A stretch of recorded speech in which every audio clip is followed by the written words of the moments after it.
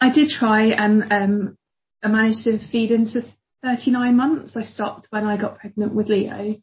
Um, wow. Yeah. And I never planned on it going on that long, but yeah, it, it did. so, um, with Max, I decided I wanted to breastfeed. Didn't do any research into it. Thought it's natural. I'll just know what to do when the baby's born. Like really naive.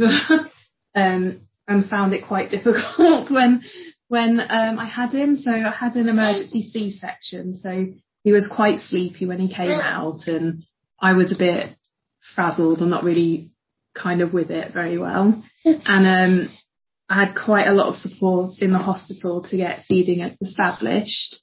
Um, and I thought it was going well, but it was very painful for quite a long time.